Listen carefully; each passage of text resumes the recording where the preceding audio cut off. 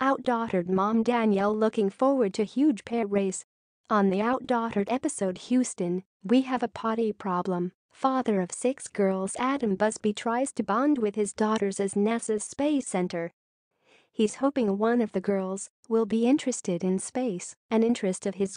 But at the Space Center, most of the Quints shriek in fear when they see the gigantic astronaut suits and the capsules they worked in. Later, his wife Danielle and her sister Crystal take the Quints to a store called the Funky Monkey to go shopping for big girl underwear. Danielle tells the saleswoman that their daycare center said they need three to five panties each. That's a lot of underwear, says the saleswoman.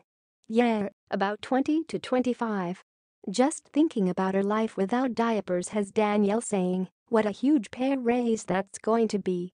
At the Funky Monkey store, the Quints are encouraged to pick out their own panty packages and they help themselves by trying them on over their pants. Some of the girls put on four at a time.